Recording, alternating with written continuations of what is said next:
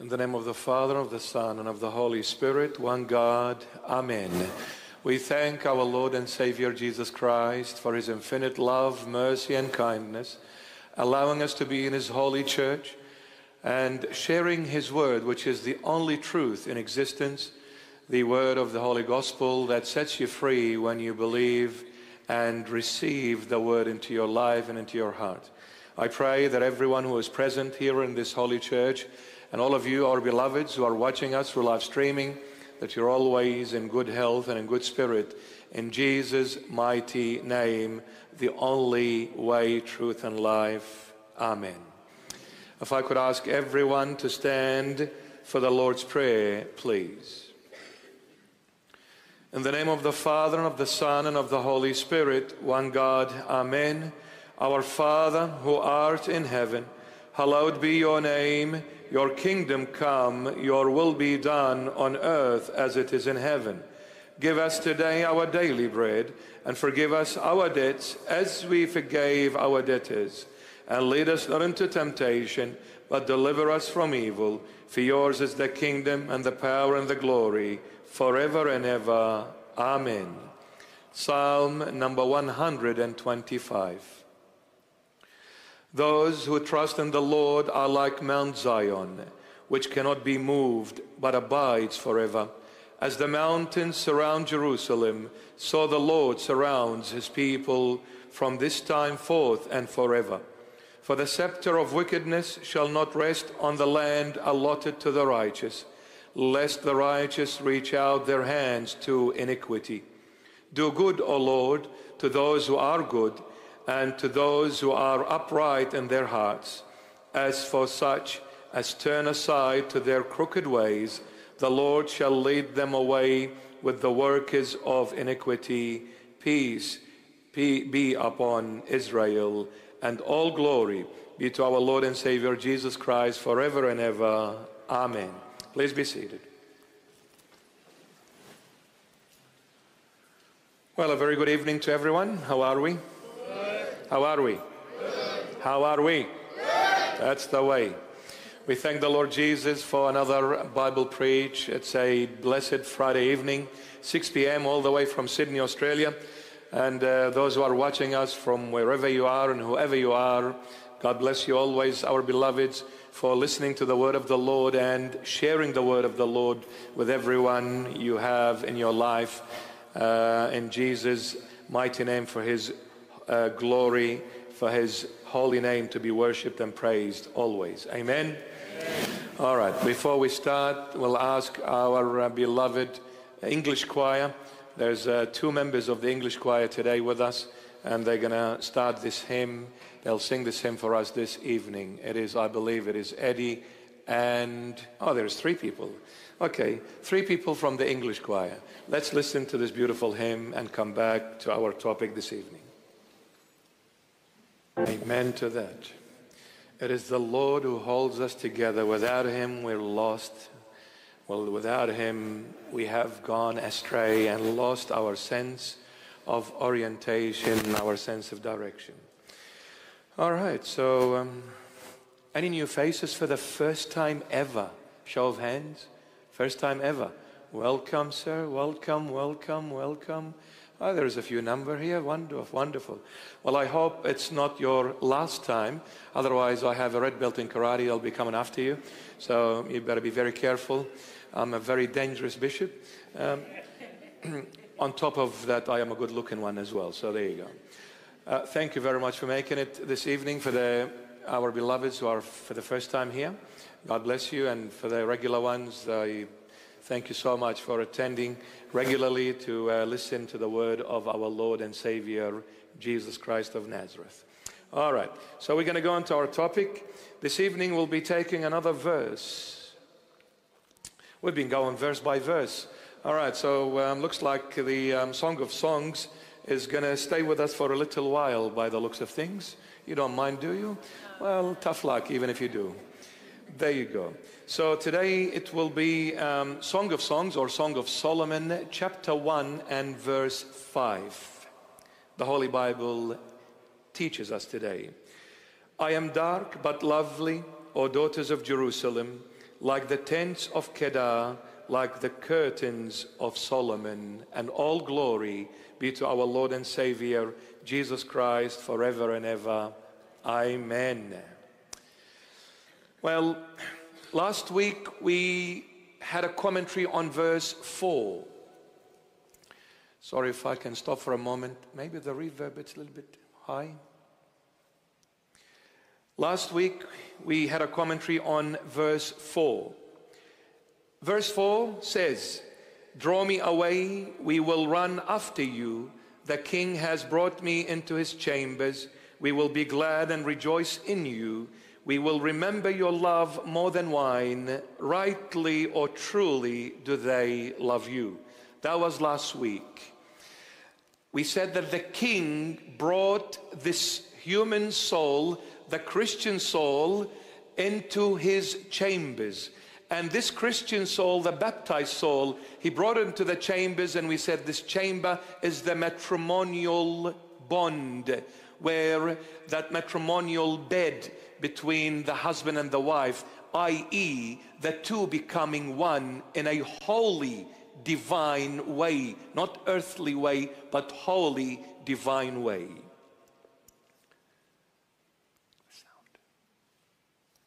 Still, still a bit loud. The baptized soul has entered into a matrimonial bond. The king has brought me into his chambers. She's entered this matrimonial bond with the king being Christ himself. When the king brought her into his chambers. Once that relationship was established between Christ, the heavenly groom, and the bride, the baptized soul, i.e., the church. So all of us are one bride for the Lord Jesus. The Lord Jesus has only one beloved church of His.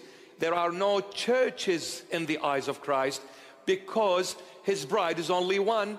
Since St. Paul says, in his epistle to the Ephesians, chapter 5, that the church is the body and Christ is the head. Well, how many bodies is to the head? Only one. Since the body is the church, well, the Lord has only one church. You can call yourself Catholics, you can call yourself Orthodox, you can call yourself whatever you wish to call. The Lord will always see you as His own one single bride forever. To the Lord, there is no division. Because you cannot divide the body. You cannot cut it into pieces. And if you try, then you'll have to pay for it. So now, this matrimonial bond in a divine way where God, Christ, the King, is coming to bring us into this oneness, this unity, unite us unto Him and make us one in Him. Once this relationship is established, what happens after that? We will encounter obstacles and troubles. Isn't that the case with every marriage? On the big day, the couple are so they're so excited. They can't wait. They have been preparing maybe for months, maybe for years for the big day to come. Finally, the big day came where the two stood before the holy altar and the priesthood rank, and they said to each other, I do. They went to honeymoon, and after honeymoon, trouble started. We started encountering issues, obstacles. It is normal, isn't it? There is not one couple married that they never had problems with one another, raised their voices at each other, maybe went away to mommy's place for a couple of days away from hubby or from my wife. Issues happen. So now, verse 5, the bride is saying, after getting to know Jesus Christ, after becoming one with the Lord, after becoming betrothed to the Lord Jesus, he becomes the groom and I become the bride. After this relationship is established, verse 5, that is today's topic, the bride is saying, I have issues now. I have issues after marriage. What are the issues? Let's look at them. The phone rang. Just say, I'm busy because I'm with my sweetheart Jesus and with the best looking bishop in the world. Can I hear an amen for that, baby? Amen. Yo, what's up, brother? Get down, bro. Let me some skin, bro. What's up? All right. So I'm an American. Yo, I think I should put my name for the elections and be in the White House, baby. All right. Now I'll leave that to Mr. Trump. I think he will do a brilliant job. There we go. So now the bride is saying, I've got problems. What are the problems? Let's look at them. Verse 5. The bride is talking. I am dark but lovely, O daughters of Jerusalem, like the tents of Kedar, like the curtains of Solomon. Curtains, we can call them also tents. So, I am dark, she's saying, but lovely, O daughters of Jerusalem, like the tents of Kedar, like the tents or curtains of Solomon. Who are the daughters of Jerusalem? We said earlier, angels of heaven.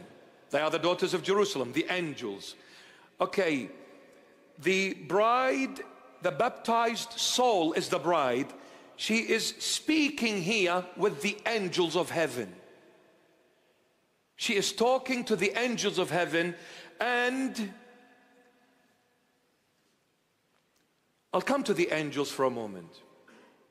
Angels are referred to as the sons of God in Job 1 6. When we read in the book of Job, Old Testament, chapter 1 verse 6 the angels are called the sons of God now the word sons here means belonging to like in a way in a simple term um, the people of Fairfield the people of Sydney the people of uh, America the people of Australia now the people of Australia are the sons of Australia are the sons and daughters of Australia, but not in the literal sense as being given birth to. You know what I'm saying? But where, wherever you belong to, you are the son of that place. So the sons of God, angels, here literally means belonging to God, the angels of God. But what are we to God as humans? The children of God, i.e., born of God. You see, angels are not born of God, they are created by God. But us, no, we are born of Him. And to say this to you, it is only mentioned that God said, Let us go down and make this human being, this man, in our image according to our likeness. That is only mentioned to the human race that God went down to make us in his image. Now the word image is an internal one. So we are born internally from God. Angels are created externally to God. That's why they are the sons, i.e. belonging to God. But we are the children, the inheritors, the heirs to his throne. What is God's is mine. The title deed is mine as well. I own it. So, the most powerful angel in heaven, Archangel Michael, will salute you when you walk to heaven and will come and serve you while you are on earth. The most powerful angel that can wipe the whole world before we blink our eyes. But when he sees us, the weakest form ever, full of sins, he will salute us because he sees God, his creator, in us. Do you realize how precious you are in the eyes of the Lord? Yet angels are perfect, sinless. Yet we are all full of sins, but the angels salute us and they serve us. They can wipe us from existence, but they cannot because their God is my dad. so I descend from the royal family. I am the king and I'm the queen, and the angel is nothing but a servant. Wow. Now she's saying, I'm dark but lovely, O daughters of Jerusalem. Daughters of Jerusalem are the angels. The word Jerusalem can have two meanings in the original text. Now in Hebrew, Aramaic, Syriac, same language, that has two meanings. It is Ur Shalim. This is the proper pronunciation of the word. It's not Jerusalem, it's Ur Shalim. It's a compounded word, two in one. Ur means city, Shalim means peace. When you go to Israel, what do they say? Shalom. Now, the word shalom means peace. So, Ur Shalim means the city of peace, but it also has another meaning. The word Ur in the Aramaic language can mean the road. And Shalim can also mean the end. So Ur Shalim, end of the road. Everything began with Jerusalem, everything will end with Jerusalem. That's the starting point, and that's the ending finale point. This is where Christ came, and this is where Christ will come back again to put an end to everything. All will happen in Ur Shalim, the city of peace and the end of the road. Now, the bride, the baptized soul, is talking with the angel saying, I am dark. This is the first problem I have after being connected with Christ. I am dark. Now, why I am dark? Because the reason being dark, number one, because I am, since I'm living in the world, the world made me dark because of its evil ways. Since I'm living in the world, the world has made me dark because of its evil ways. And also, since I'm living in the body, the body, because of its weaknesses, it made me fall into sin. Sin made me dark. Sin made me dark. But she's saying, I am dark, but what? But I am lovely, O daughters of Jerusalem. What she's trying to say, even though I'm dark, but my place is with you, angels. I belong to heaven. I belong above.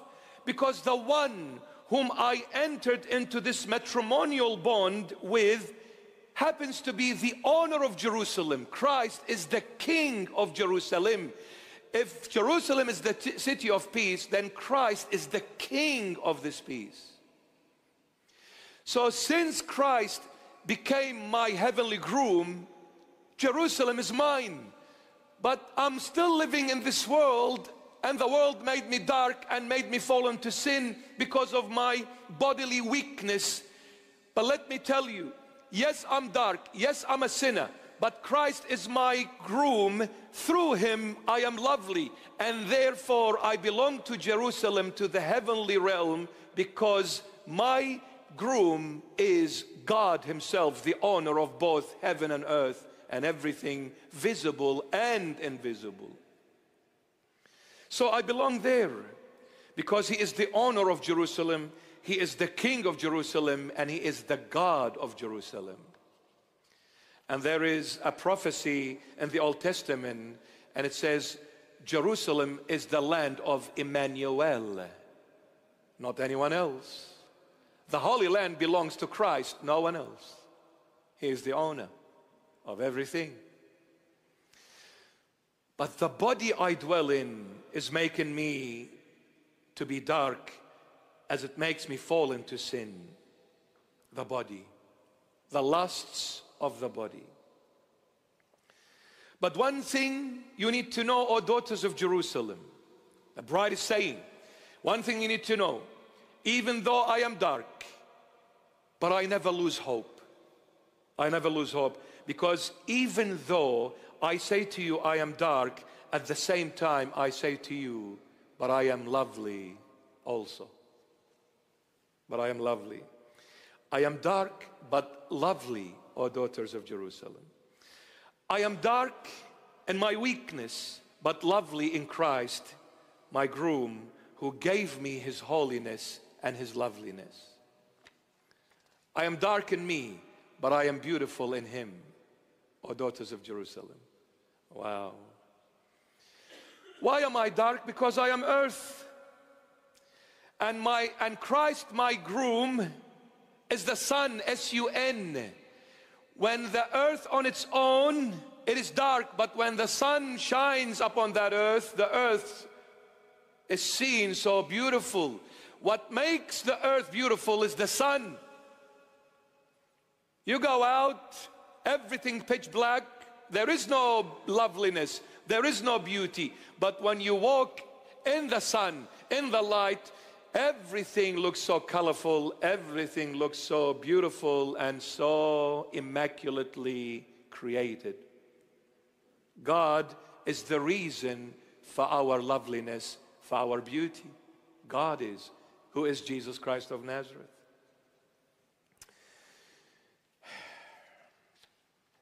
My loveliness is in Christ. Without him, I am dark because I am a sinner. Without Christ, I have no light in me. And since there is no light, then there is only one thing left in me darkness, like the night. The bride says, I am dark, but lovely, O daughters of Jerusalem, like the tents of Kedar, like the curtains of Solomon. Please look at verse 5 on the screen. I am dark but lovely, O daughters of Jerusalem, like, a, like the tents of Kedar, like the curtains of Solomon. We said curtains can also mean tents. Let's put it in a different order, in a different perspective. Let's look at it. What we can say now, I am dark like the tents of Kedar, but lovely like the tents of Solomon. Yes? Do you see? Do you see the combination, how, it, how it's work, work, walking together? I am dark like the tents of Kedar, but I am lovely like the tents of Solomon. That's what she's trying to say. That's why the word Kedar and Solomon are mentioned there. And we'll come to it why. Why is so? We'll come to that. I am dark like the tents of Kedar, but lovely like the curtains or the tents of Solomon. The Israelites ended up using um, the tents of Kedar. Who is Kedar? Kedar is the grandfather of the Arab world. Kedar is the grandfather of the Arab world. By the way, Palestinians are not classed as Arabs because they are Palestinians. There was a nation from an old time, ancient times, called Palestine, and Goliath, Goliath, you've heard of the story Goliath and David? Goliath was a Palestinian. But who are the Arab worlds? Who are the true Arabs now? The Gulf region, Saudi Arabia, Kuwait, the Emirates, all of these are the true Arab world. And usually and normally, the Arabs, the real Arabs, are dark skinned. They're not fair, they're not tan, they're a bit of, bit of a dark skin. So, Kedar is the grandfather of the Arab world, and he was the inventor of the tent. Up until his time, nobody thought of making a tent. He was the only one who founded this tent and invented it for the first time. Therefore, the tents are a copyright of Kedar, the grandfather of the Arab world. He made those tents out of the goat strings. So normally, when you looked at the tents made by Kedar, they were black, all black, from a goat skin. They were all black, made from a goat skin. That's why the bride is saying, I am dark like the tents of Kedar, because the tents were black color. But lovely, like the curtains or the tents of Solomon. The Israelite nation ended up using the tents of Kedar. But for what reason they used it? They used it to treat leprosy.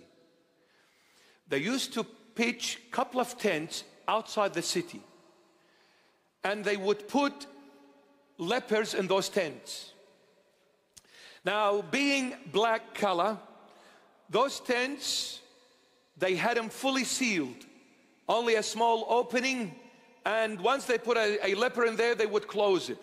Outside the city, so that nobody from the Israelite nation gets defiled by speaking to a leper or even touching a leper.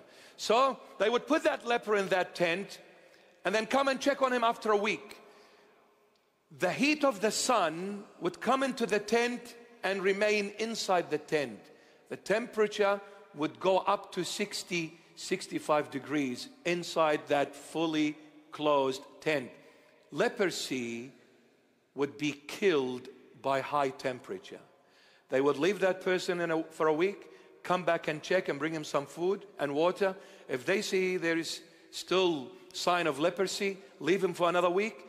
They used to keep them for up to three weeks. After three weeks, with intense temperature being exposed to, leprosy will start dying and falling off.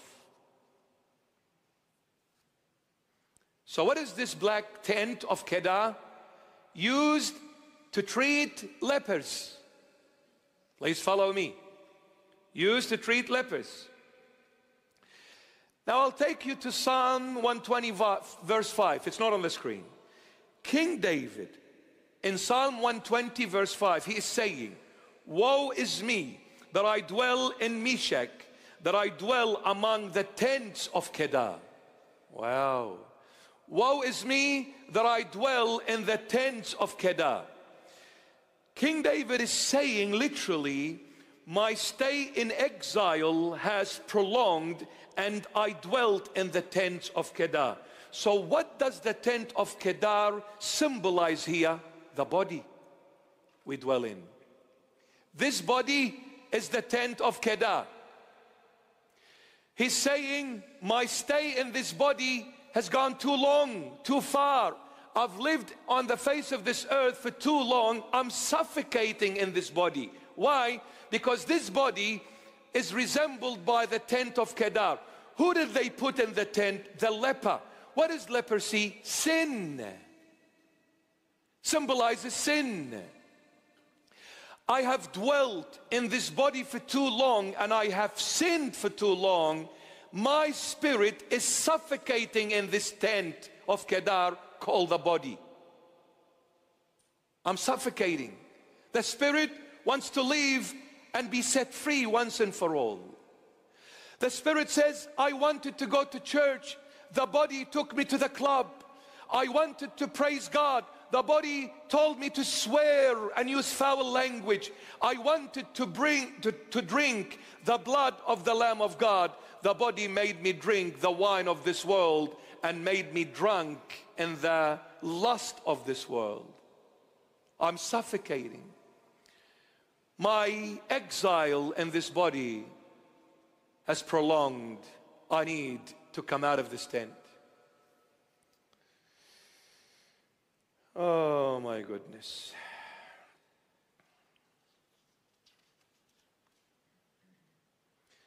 The Spirit says, I want to walk in the path of Christ. The body replies and says to her, I'll walk in the way of this world like the people of this world. My stay has prolonged in this tent. Since I have stayed in this tent for too long, the result of it, I became dark. I am dark. Sin has made me dark like the night.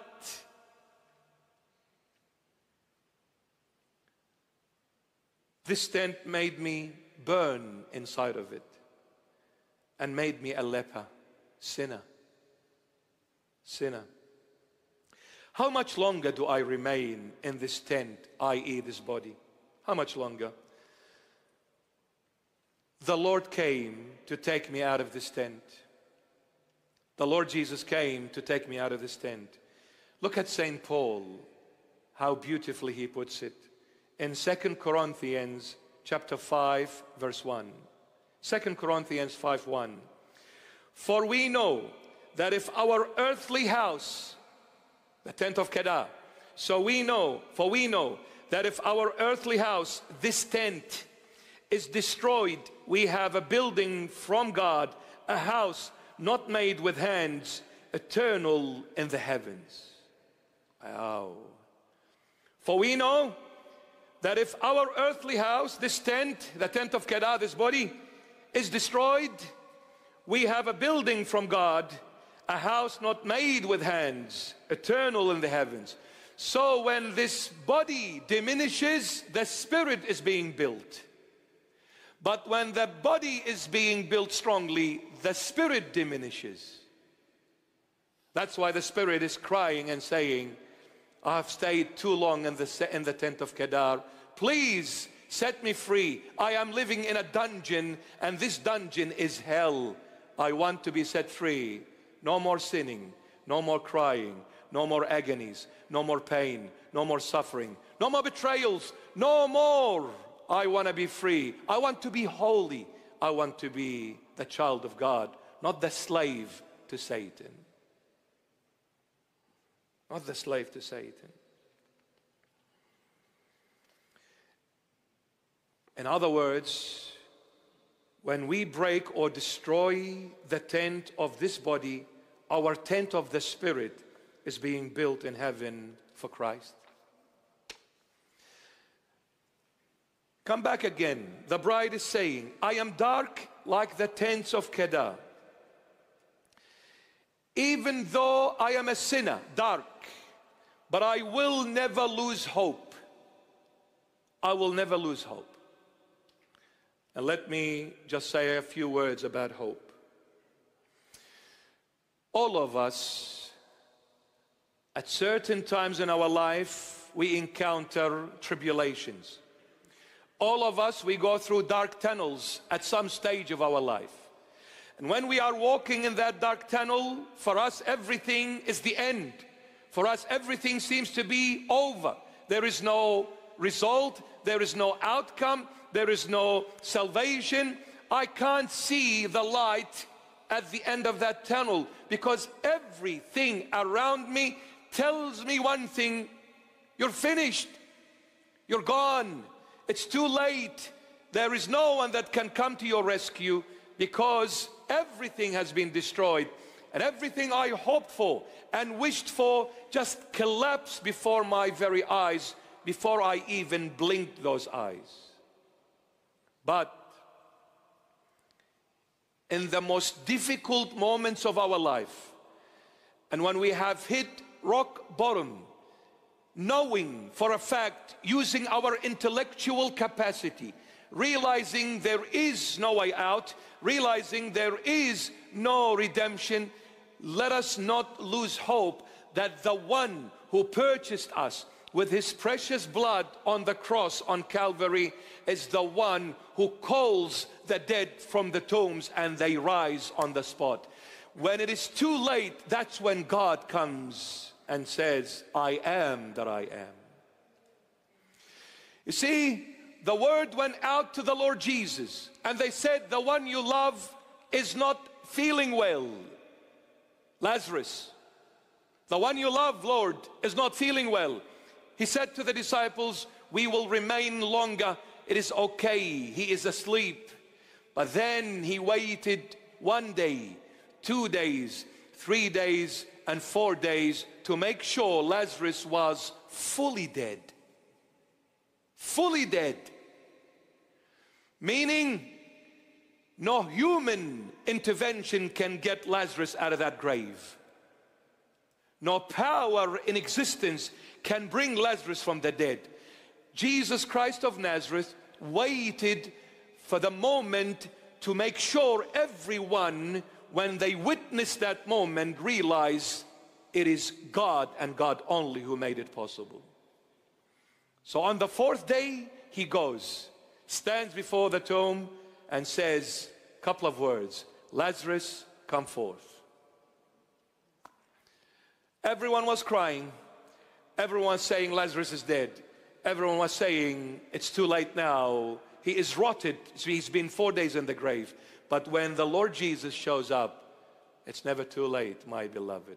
Don't ever lose hope and say, my problem is too big to be resolved. There is nothing too big for Christ. You better believe in this. There is nothing too big for the Lord Jesus. For when it is too late, the Lord says, it's never too late. What is impossible to you, human, it is very possible for me because I am God revealed in the flesh. Amen? Amen. So, don't ever lose hope. no matter what. Be strong, trust in the Lord Jesus. Even though I am dark, yet I belong where you are, O daughters of Jerusalem. Because my groom is the king of Jerusalem. So I belong there, but I'm still dark because I'm still living on earth.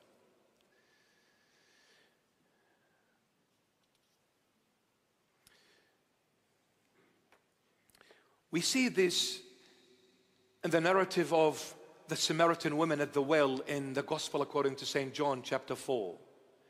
The Lord Jesus sends his disciples away to, bring, to go and buy some food because he wanted to see this Samaritan woman at the well. She came to that well. She saw a man before her. He said to her, Go and call your husband. She said, I don't have a husband. He said, Rightly you said, because you had five husbands before, and the one who is with you in the 21st century's terminology, your boyfriend. And so, true, correctly, you said all this. He said, Because You've been waiting for the perfect man. That's why you married five. And you said, It's too much. I can't remarry and keep on remarrying. Looks like there is no perfect man. I tried the first and he failed me. And the second and the third and the fourth and the fifth. I said, I will not marry again. It's too embarrassing to face society. Therefore, I'll be content with a boyfriend. But the Lord said to her, You are dark but you are lovely at the same time because the seventh man is the perfect man you've been searching for all along. I am the man. So when I showed up, you were dark because you lived in sin. But when I showed up, you said, I am dark but lovely, O daughters of Jerusalem. Because Jesus Christ came and gave me his loveliness. He betrothed me at the well. The well, my beloved, represents the baptismal font, water. From the baptismal font, He clothed us with loveliness, the dress of righteousness, the dress that is all white, without a blemish, without a stain. I was all pitch black. I was all dark from head to toe, inside and out, because sin made me dark. But when Jesus Christ showed up, he gave me his holy baptism and through the holy baptism adopted me to be the child and the son of God the heir to his throne and the inheritor of his kingdom and he put on the white dress the white dress is the one which he rose with on Sunday resurrection, the dress of righteousness, the dress of the heavenly realm. He put that white dress on, and all of that black tent of Kedar became lovely as the tent of Solomon. Lovely as the tent of Solomon.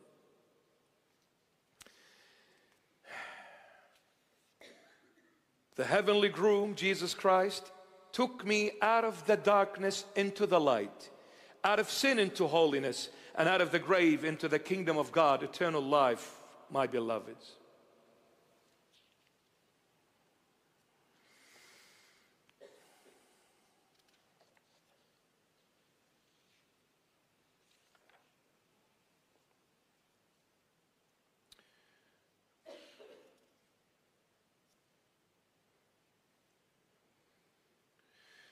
At the well, I received the garment of baptism. The garment of baptism, the dress of righteousness. And that dress made me lovely like the tents of Solomon. Now, tents of Solomon, they were made out of gold and silver strings. They were made out of gold and silver strings. When the sun shined upon them, they looked so magnificent from afar. The reflection of the sun on that gold and silver strings, they shine so beautifully, so magnificently. It was a wow factor from afar, from a distance. Totally opposite to the tent of Kedar.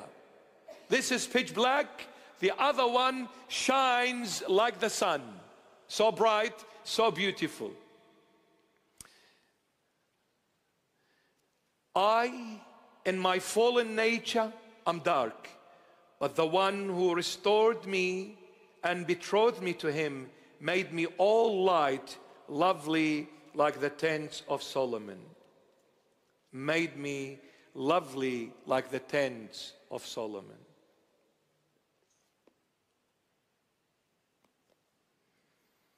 I think today will break the world record and it will be the shortest talk ever done by the bishop.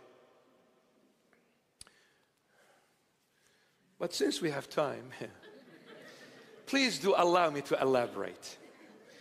I like to elaborate. In music, I like two kind of styles in music. One is classical, the other one is jazz. The reason why classical I like because it's just eloquent. Everything falls into place so beautiful, so beautifully. But what I really like about jazz, if you're not familiar with music, is one thing improvisation. They improvise. So, jazz, the whole musical is probably two chords ring, ring, ring, ring. But you see those professional musicians, amazing, with those two chords, they come up with something so magnificent by improvising and elaborating on those two chords. So today I'll make it like jazz.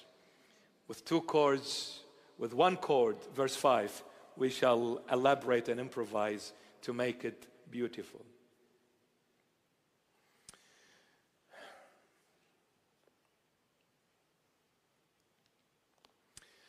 the first time you come to the Lord Jesus.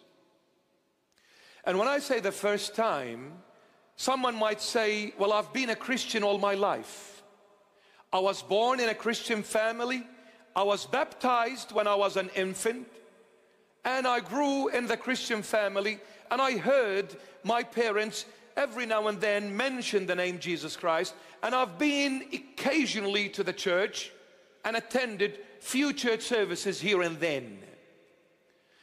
But it is the first time ever I come to this encounter that I've never experienced before, where I truly, truly feel the presence of the Lord in my life so awesomely, I have never ever felt this way before. I am a Christian, but I was absent from Christ and Christ was absent from my life. I went to church for every reason under the sun except Jesus Christ of Nazareth. I went because I had to fulfill a certain duty or obligation. But today, today, I went to church. I came to church for the Lord and the Lord only. Today, I feel different. Today, I see myself different. Today, I look at myself differently. Because the Lord revealed Himself to me. I not only have heard about Him, but today I have seen Him. So when you are coming to the Lord with this encounter, with this insight, with this realization, it's your first time ever. It's your first time ever, even if we are over 70 or 80 years of age.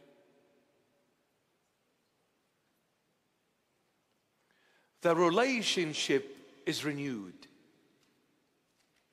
I was born again through the baptismal font, the sacrament of baptism, but the relationship for the first time is renewed with the Lord.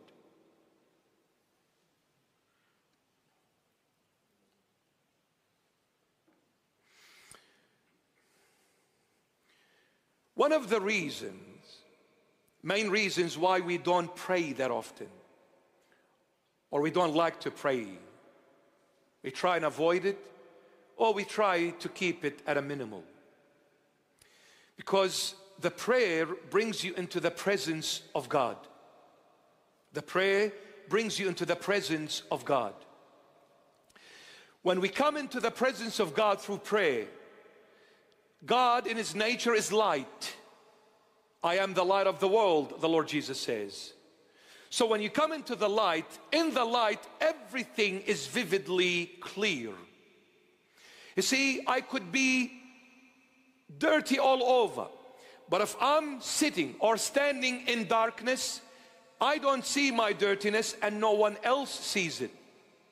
But imagine when the lights comes on and I look at myself, I am embarrassed. Oh no. Look at the dirt.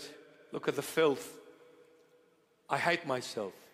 The light revealed all my darkness. Some people do not wish to see their darkness because I don't want to be humiliated.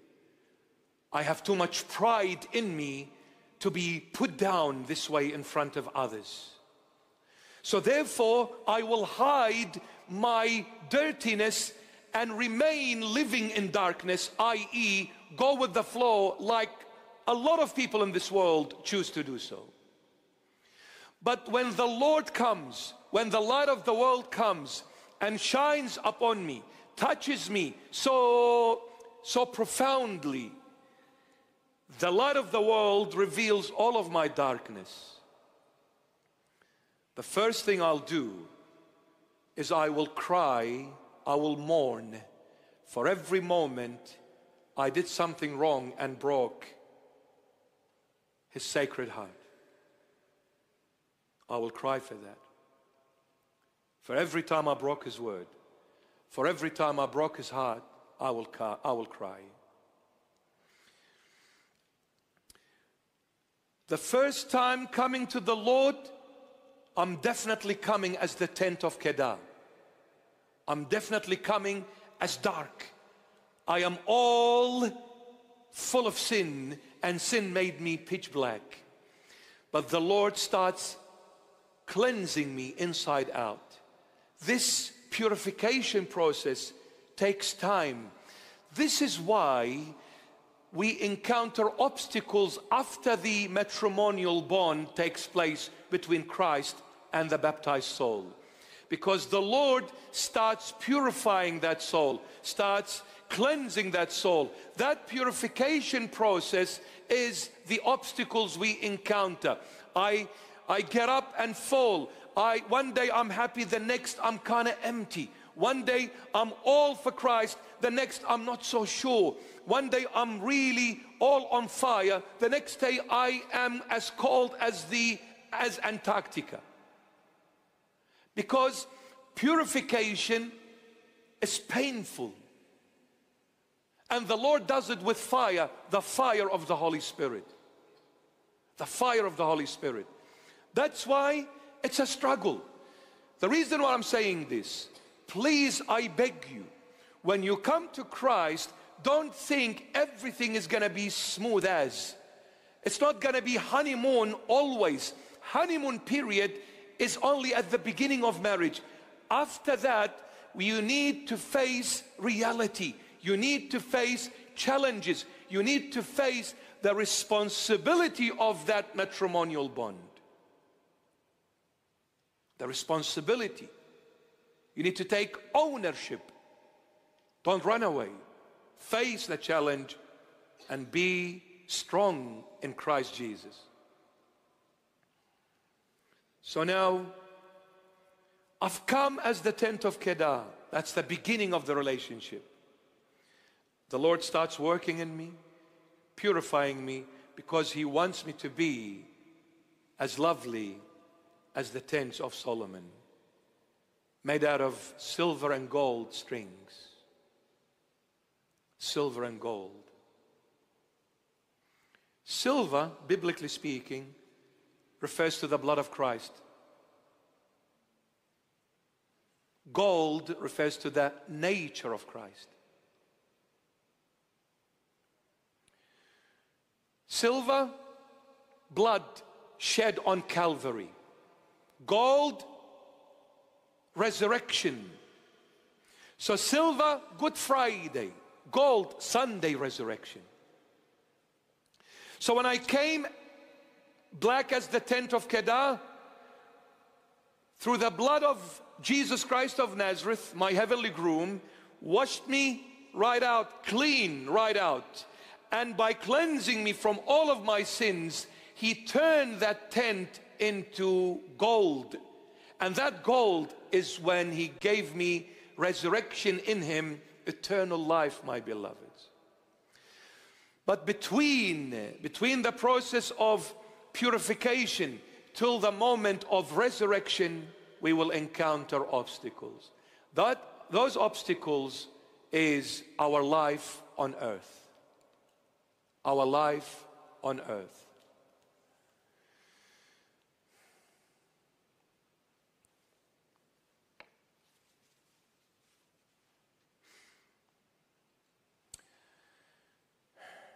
We're living at a time and age. We're living at a time and age where the surroundings is very evil. The world is blind. The world is definitely living in absolute darkness. And what you hear, what you see, what you encounter around you it is absolutely insane evilness in its core. It is where the, where the Lord God says in Isaiah, You have called light darkness and darkness the light. Today, the world is calling the light darkness and the darkness light.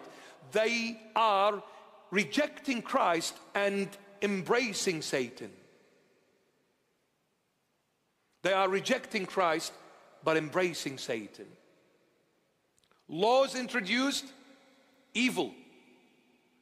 Everything that is offensive to Jesus Christ of Nazareth, the world is running so fast to implementing those evil laws. What we need to do, what we need to do, we need to be close to Jesus Christ of Nazareth. I pray and I beg the Lord Jesus to touch every heart and bring it closer to Him more than ever before. If there is a time that we need to be close to Jesus Christ of Nazareth, I can assure you the 21st century is the time of all times. Because all the centuries that have gone by, put together all of them, they come nowhere near the evilness being done in the 21st century. Nowhere near. When the Lord Jesus spoke about the time of Noah and the time of Sodom and Gomorrah, well, what was happening at the time of Noah? At the time of Noah, he said they were marrying, divorcing, remarrying, divorcing, remarrying, divorcing. Marriage was like a trade at the time of Noah. It was so easy as if you were buying some vegetables or some fruits. It was that easy. And at the time of Sodom and Gomorrah, LGBT. The 21st century, Noah's time, Sodom Gomorrah's time put together. It is all happening in the 21st century. It is very evil. Therefore, my beloveds, our only, our only way to salvation is Jesus Christ of Nazareth. I beg every young man and every young woman, my beloved sons and daughters, you are here in the church and you are watching us through live streaming. I beg of you, if you are a teenager, if you are in your 20s, in your 30s, in your 40s, in your 50s, but more so, more so, teenagers to the age of maybe 30, 40, I beg you, I beg you, do not, do not, do not let anyone of the world to influence you and take you away from your beloved Jesus Christ of Nazareth. Step on Satan in the name of the Lord. Then step on the lusts and the pleasures of this world and say, I willingly choose to reject you, world. I willingly choose to reject you, Satan, and I willingly choose to embrace my heavenly groom who came to make me lovely as the tents of Solomon because the world turned me into the tent of Kedar, pitch black like the night. I choose the Lord Jesus. If you are going out with so called friends and having fun defined in the worldly realm, walk away from those friends because they are not your friends. A true friend, in a simple nutshell definition, is the one who builds you up, not destroys you. A friend that takes you to the club and refuses to take you to the church is not a friend. He is destroying your future. He is destroying you from head to toe. You need a friend that will say to you, Give me your hand because I'm taking you with me to the Lord Jesus. Now that's what you call a friend. Now that's what you call a friend. Any relationships, whichever level they are, whichever, whatever color they may be, you need to see is the Lord happy with it? You need to see that. Come to the Lord Jesus, my beloveds. Ask the Lord, Lord, give me the time. I want to spend it with you more than ever before. I have wasted enough time in this filthy world, in this ugly, dark world.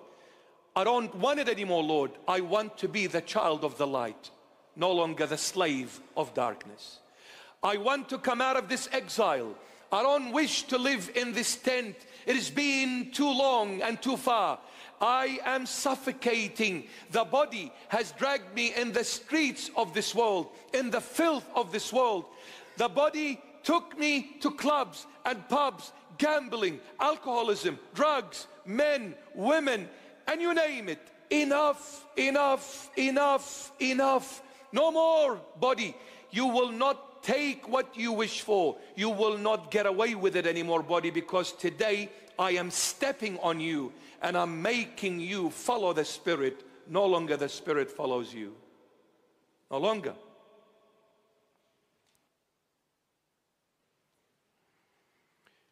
Christ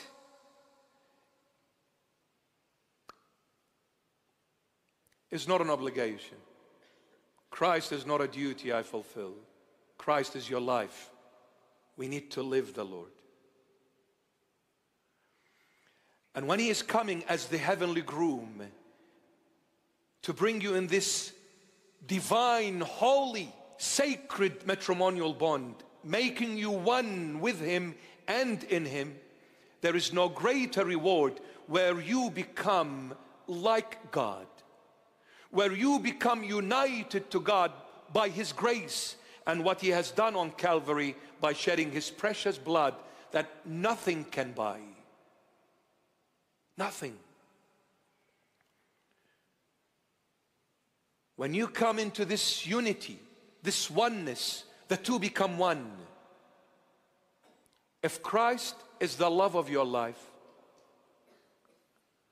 then don't you wish to be with the one you love the most and the one who is closest to you?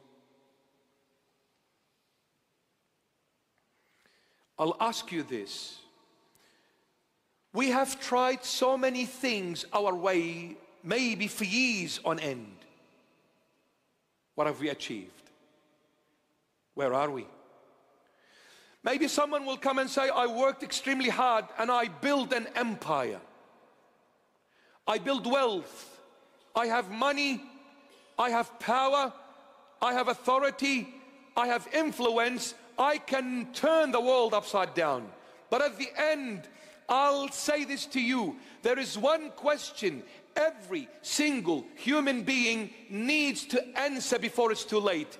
This question is not just for Christians, it is for every single human being. This question the Lord Himself asked us to have an answer to.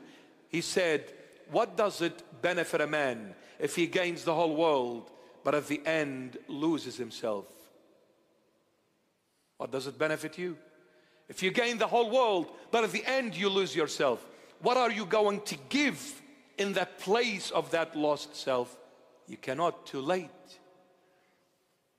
You can gain the world, but you will never be able to have inner peace. You will never be able to find yourself. You will always be that empty, that vacuum inside of you where you just wonder who you are and what you are and where you are lost.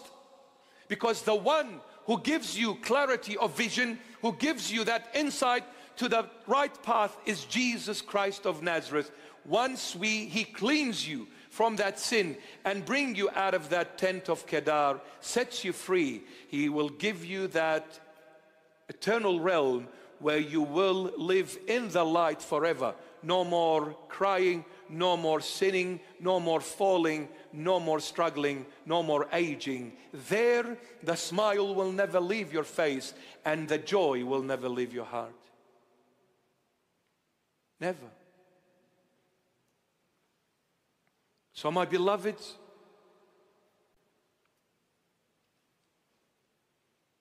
don't go where Christ disapproves. And don't do what Christ is offended with. Come back to the Lord Jesus. Love the Lord. Live the Lord. Live Him. Love Him and live Him. Six foot one, brownie, crispy hair all the way to the shoulders, split in the middle. The beard is not long as the bishop's, much shorter, but it's brownish, reddish, still young. He's 33. I'm 54, much older, not. but the Lord, after 2024 years, He's still 33. And He will always be 33. This youthhood, this brilliant, perfect man, perfect God that walked on the face of this earth, that perfect man and that perfect God will always be the same in the next life for eternities. He will never age, He will never change. The same Jesus, but this time we will see Him in His glory. In His glory. But the same perfect man, 33 years of age. I can assure you this is the truth. There is no God but Jesus Christ of Nazareth.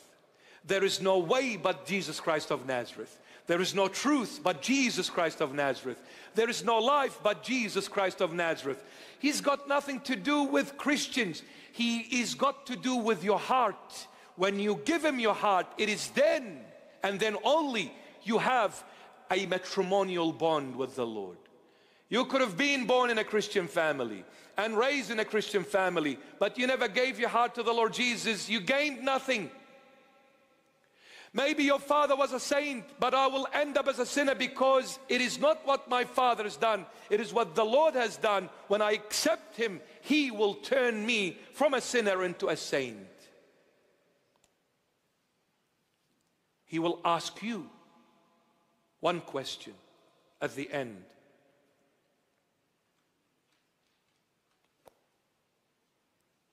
Simon, son of Jonah, do you love me? I will not ask you what was your nationality, what was your tribal background, what kind of a race you came from, uh, what language you spoke, uh, which church did you go to? Oh, are you Catholic? Oh, really? Are you Orthodox? No. Do you love me? Do you love me?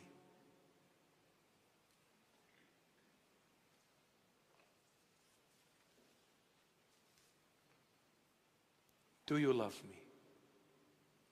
One question. And one answer is required. It's too simple and it's too easy and it's straightforward. Don't complicate Christianity. And don't say, I cannot do it. Because it's not what you do, it's what Christ has done for you. But what is our part to do is to love Him. When you love Him, you give your heart to Him. You make Him your heavenly groom, where He comes and makes His bride one with Him, united forever. He becomes the head, and you become the body. Wherever the head is, the body is. And wherever the body is, the head is. They are inseparable, cannot be separated ever. So when you walk alone as the body, the church, when you are walking by yourself, remember the head is with you. Christ is with you wherever you go. So don't say, I'm going by myself, nobody's watching. the head is with you. So when you went in that dark alley, you thought nobody was watching. Well, the head is with you. When you're in the church, the head is there. When you are in the car park, the head is there. When you're in the street, the head is there. When you're at home, wherever you are, at work, the head is with you. The head is with you.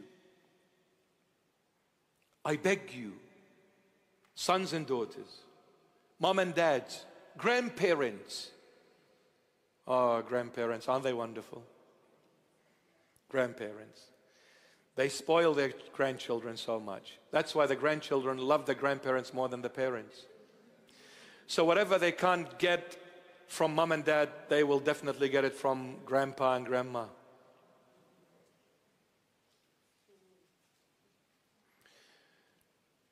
Our Holy Mother, Mary, she's our mom. But we have a grandmother. Her name is Anne, the mother of Mary. We focus on the Holy Mother and we forget Grandma.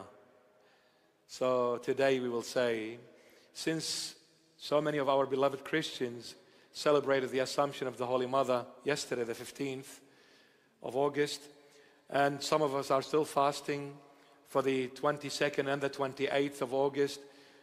All of us are one. Doesn't matter, the dates may be different here and there, but hey, we are venerating the Holy Mother. That's what matters. But we pray one day everybody uh, comes into that unity where we celebrate the resurrection and the birth and the assumption of the Holy Mother at the same date. But until that day, it is okay. It's all good. We venerate the Holy Mother through this month of August. It's so holy. It is so, so blessed. But let us also remember the Holy Mother has mom, has a mother called Anne. So when we say Holy Mother, we love you and we love your mother who is our grandmother. So now I say to you, Holy Mother, with all love and respect, if you don't give me what I want, I'll go to grandma. I'm sure she's got a big smile on her face right now. And she's saying to this bishop, You are an, what a cheeky little boy you are. But since you're my son, I love you and I will uh, take it as a joke. Otherwise, I will smack you later on. No, no, no. The Holy Mother is stunning. It's amazing. She's amazing. But beyond and above, Jesus Christ of Nazareth. There is no comparison when it comes to Jesus Christ of Nazareth. He stands alone because he's the only one who is God revealed in the flesh. You cannot compare anyone nor anything with God. God is the only supreme authority, the only uncreated being who has created everything visible and invisible. Jesus Christ is our Savior, our Redeemer, our heavenly groom. Love the Lord. Say, Lord, I want the honeymoon period to remain forever. I don't want it to only stay for a short while. I'll come to you when I'm good and I'll walk away from you when I am not so good. No, it is a matrimonial bond in good times and in bad times, in richness and in poorness, in sickness and in health, we stick together, we make it together, we hold on to one another.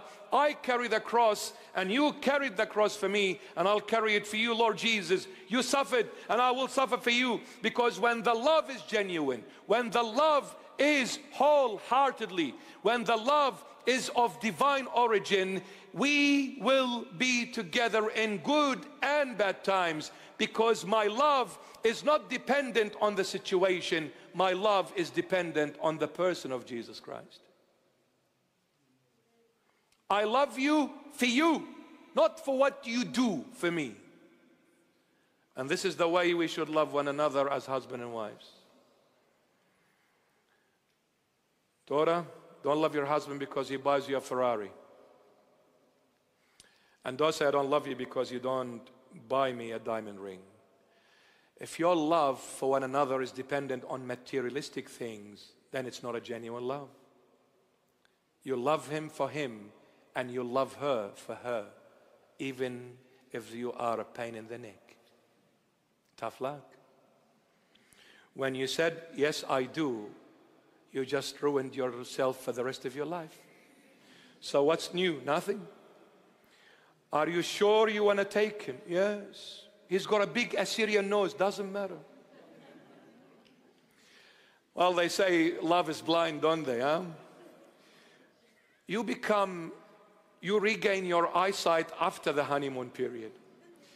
And then you say, What have I done to myself? I thought it was Mariah Carey. All right, beautiful. Love the Lord. Come to the house of the Lord always, my beloveds. Remain with the Lord Jesus always. Amen. Amen. One last time, I just I can't I can't stop reading this beautiful verse. Look at this, so stunning, amazing. Verse five. Where's verse five? Verse five. Have I passed it? Oh, here we go. I am dark but lovely, O daughters of Jerusalem, like the tents of Kedar, like the curtains of Solomon. I am dark in the flesh, but the one who came to be to betroth me to him through his precious blood, he made me whiter than snow. He turned me from the tent of Kedar black into the tent of Solomon made out of silver and gold strings. Absolutely magnificent.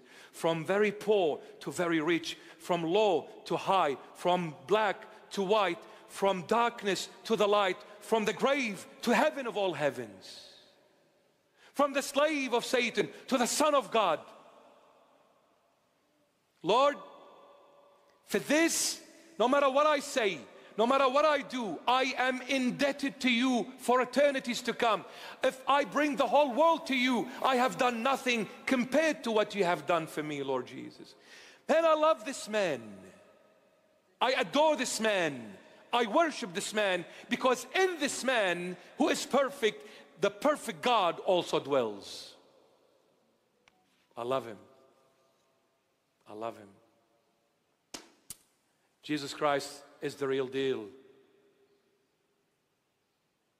I don't talk about him, I know him. I not only believe in him, I know him. His path is narrow.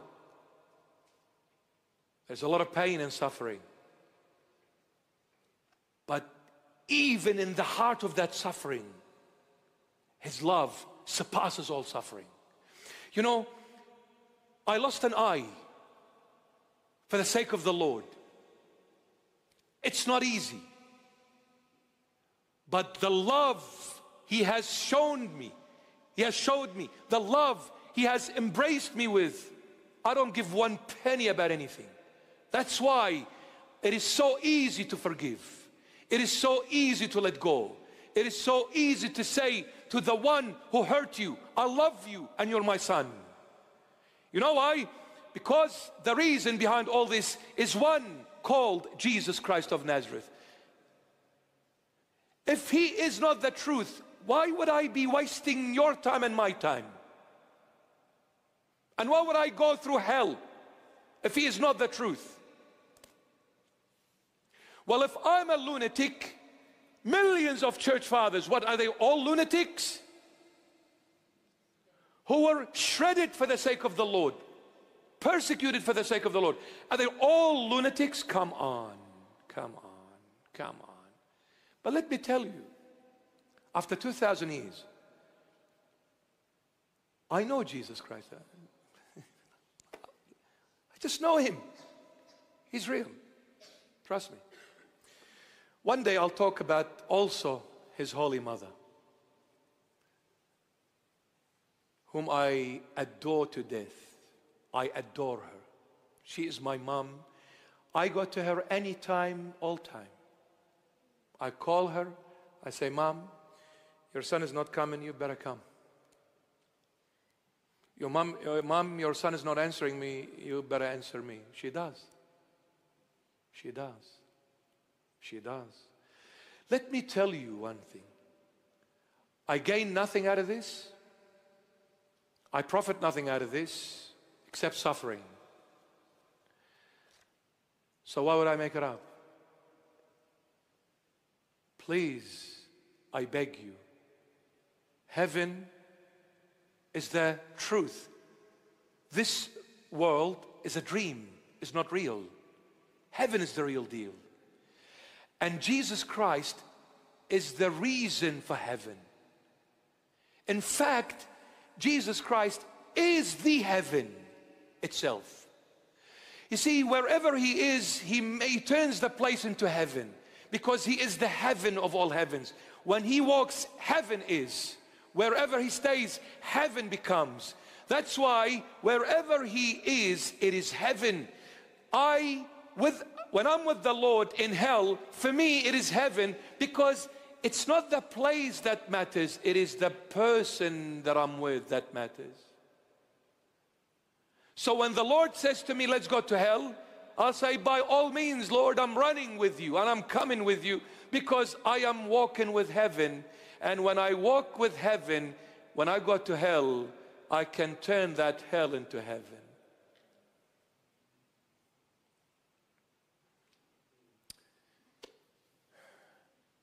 At home, don't fight over earthly things. Please, I beg you. Don't waste your breath and your time and you say, Oh, you didn't do this for me. You didn't build this for me. You didn't buy this for me. You didn't get this for me. All of this is nonsense. All of this is just a dream at the awakening. Everything we have is not ours. But what is our true portion forever is Christ then husband and wife embrace one another in the love of Christ. Make him your possession. Make him your wealth. Make him everything because simply he is everything. Love one another for the sake of Christ who loved you so much, he gave his life for you on the cross. Love him. So next time, forgive the wife is upset, kiss her with the holy kiss and say, I'm sorry, honey, even though it's your fault, but let me apologize. Because, honey, simply I don't wish to sleep once again at the gutter. so it's my fault. Please, your president. And don't argue because your visa will be cancelled and you will be deported from home. So love one another, forgive one another, help one another, embrace one another in the love of Christ, and say, Lord, with you on the face of this earth, I want nothing. You suffice, Lord. You suffice. Oh. I am dark but lovely, O daughters of Jerusalem. Like the tents of Kedar, Jesus turned me into the tents of Solomon. From pitch black, dark, full of sin, into whiter than snow, full of righteousness and holiness and beauty and loveliness. Jesus.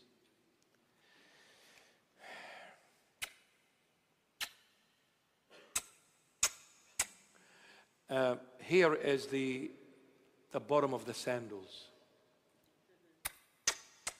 Um, I'm going to show you this, uh, this beautiful uh, doll. See, I was sitting one day, I said, Lord, you're not coming. And I was kind of upset, you know. So um, somebody came and gave me a present the church. I opened it and it was, it was like a doll, Jesus Christ of Nazareth, as a doll. And what I loved about that doll was the sandals. It's so cute. I'm going to bring it one day here. So I said, I wanted you to come. You come like in this kind of a form. what is this, Lord? And, and, and there's a tag here that says, uh, My friend is Jesus. Wow. It's so cute. Sometimes the Lord will deal with us at a kindergarten level. So, this is the depth of theology for those who wish to learn theology. If you have an ear to hear, let that ear hear, my beloved. This is the depth of theology. So don't say, no, how come you talk like that? No, this is love, brother. Love. When you're in love, you do crazy things, bro. And you become someone else that you are never that someone. This huge man muscly tattoos everywhere, 120 earrings here and earrings here. He acts like a baby in front of his wife. So fragile. Honey, want something? I go. Hey, you're a grown up man. What are you acting like a kid? Hey, I'm in love, brother. I'm in love. Well, when God is in love, he acts also like crazy.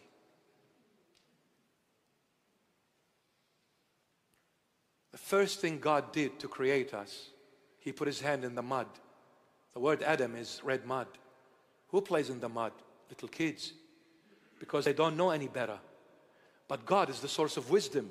Don't you know what you're doing, God? He says, Yes, of course I know. Well, how come you're playing with mud? He said, Because I'm not playing with mud. I am in love. When I love, I go out of my way for the one I love. And I proved it. I not only created you out of the mud and I acted like a kid, but I also died for you because love kills the person that loves.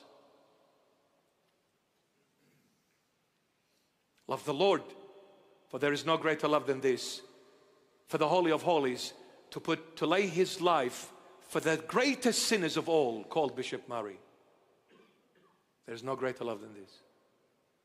He's worthy of every love we give him, every honor, respect, and worship we give him. He's worthy. I didn't break the world's record today. um, we shall continue with verse 6 next week, God willing. Um,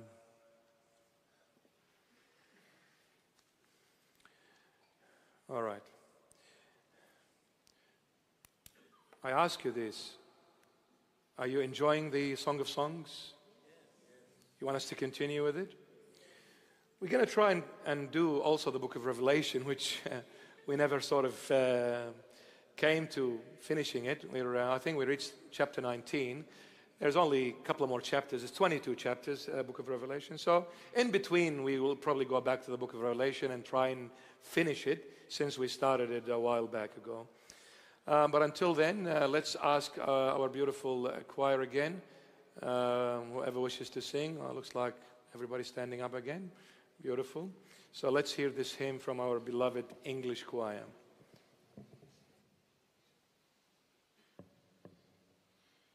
Amen. Amen to that. Um, we have a young man here today, all the way from Italy. Um, his name is Ricardo, very handsome young man. So welcome, dear Ricardo. Bless you. And uh, bless our beloved people of Italy. Put your hands together for Ricardo, all the way from Italy. Anyone else from overseas here? Anyone else from overseas? No. Brisbane. Oh, Brisbane Interstate. Oh, welcome. Welcome. Brisbane, baby. Chile. It must be very hot there, huh? Chilly, huh? Very chilly. Uh, come sta? Se buongiorno, eh? Vero? Ah, that's what is Italiano. Pizza. Very good. Netherlands. Whoa. So we got Netherlands, we got Chile, we got uh, Italy, and we got Brisbane, and we got Fairfield. Bankstown. Oh, that's a promotion. Brilliant. Um, anyone from Liverpool? No, just kidding. All right, wonderful, wonderful, wonderful. That's amazing. It's, uh, it's so beautiful, you know, when you see all these diverse, you know, colors and different nationalities and different languages. It's amazing. That's the beauty of the Lord Jesus, you know.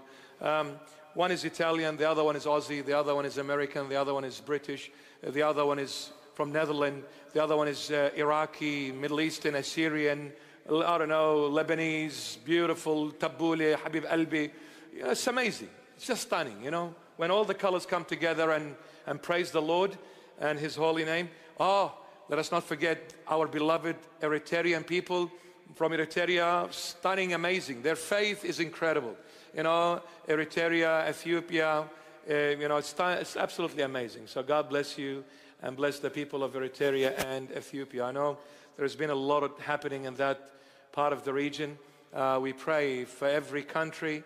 We, we pray for every place that are in turmoil. We, we pray for the people of Gaza and, uh, you know, both the, the, the, the, Jews and the Palestinians. We pray that they find, you know, uh, a common ground where they can live in peace and harmony with one another and respect one another. We pray for that because at the end of the day, an innocent soul gets killed. It is absolutely heartbreaking, first and foremost for the Lord Jesus, and then for people of that, of that soul that, are, that love that soul, that family that lose a very dear soul to themselves. You know, it doesn't matter what your religious background is, what your color, what your race in humanity, we are all one. And we need to honor that. We need to respect that. We need to appreciate that. And we need to live in harmony and peace with one another. Maybe our religious backgrounds are different. We may differ in our faith and beliefs. But as the human race is concerned, we are one. We are brothers and sisters in humanity. And we need to respect that and appreciate it.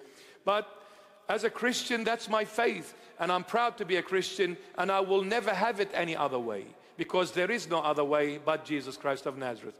But when it comes to humanity, hey, I will give you my life and I will honor you and respect you. As a Christian bishop, we know we send uh, help to a people, whether here or overseas, whether in Australia or overseas. There are people that are not Christians. There are people that are not Christians, but with the help it goes there because if they are in need, I will never ask what is your religious background. I will never ask what your race or your color is. You are in need, I will give you my life if you need it.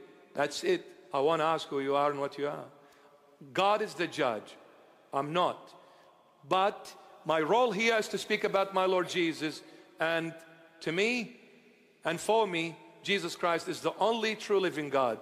And He is the only way, the truth, and the life. And He's the only way to God the Father. He who sees me sees the Father. There is no one else. Amen? Amen.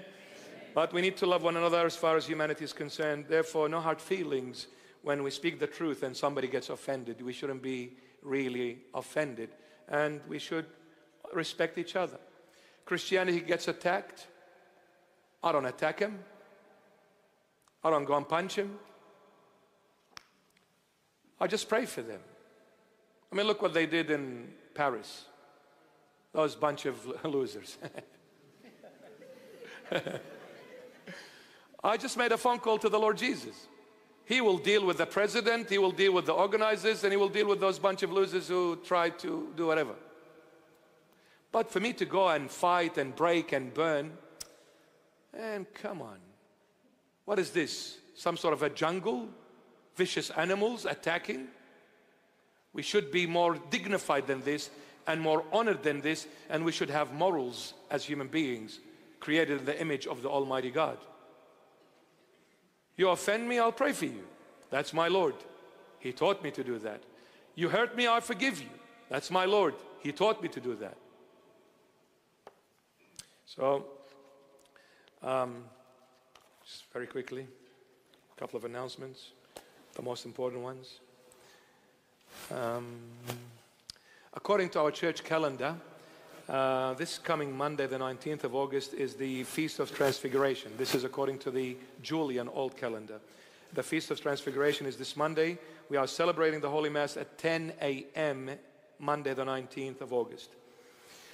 Um, we are still during the fast for the Holy Mother, two weeks. Some of us have celebrated that yesterday. But uh, this is again the old Julian calendar, which will be on the 28th of August. But we are celebrating that on the Sunday, 1st of September. So, being Orthodox, we give them extra three days to fast. I love it when I put more load on people. Just kidding. Fast. It's good. You need to fast and pray, my beloved. You'll never regret it. Um, Sunday School Divine Heart is organizing a uh, spiritual camp from the ages of 8 to 16. Mom and dads, you have your children in the Sunday School Divine Heart.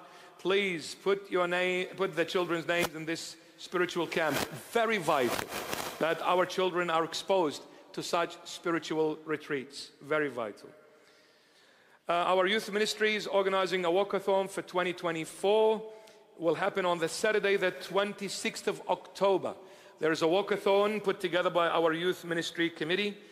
Uh, please enroll for this day. It is also open uh, for families with babies and children. Uh, it's an open day for everyone. They can come and have fun in the church premises. And those who wish to walk a few kilometers and lose a couple of kilos, please do put your name down. It's the Saturday, 26th of October. The Holy Land trip for next year is open. and I think you need to put your name down very quickly if you're thinking of joining us for the next year Holy Land trip. Looks like a lot of people have put their names down already. Um, it actually in, in, in involves four countries. There's the Holy Land, Cyprus, Romania, and Bulgaria. Four countries, uh, Holy Land, Cyprus, Romania, and Bulgaria. If you'd like to join us for 2025, it will be in May sometimes, definitely the second half of May. We haven't said the exact date, but it will be the second half of May 2025. Holy Land, Cyprus, Romania, and Bulgaria. Four countries. Please do um, see one of the youth group committee and just put your name and number. The organizer will contact you at a later stage and explain it all to you and answer all your questions, whatever is your concern is. Um, this Saturday, the seven, oh, tomorrow actually. Yeah. Tomorrow, parents with children in the Divine Heart Sunday School, we are celebrating the Holy Mass tomorrow for you and your children at 10 a.m. Please, mom and dad, you're listening, you're watching. Tomorrow, the Holy Mass is for you as parents and your beloved angels in the Sunday school. We need to come. This Holy Mass is tailored for you, made for you. So tomorrow is at 10 a.m. We pray we see you there. And um, finally, the One Jesus International Conference for next year. It will be from the Thursday, 28th of August to Monday, the 1st of September. The One Jesus International Conference will go for five days next year. It is open for everyone within Australia and abroad with limited seats. So please put your name down for this conference. Five days we'll be together in the love of Christ. There will be Holy Mass services, spiritual um, seminars, uh, contemplative prayers, touring around Sydney. It's a family coming together in the love of Christ.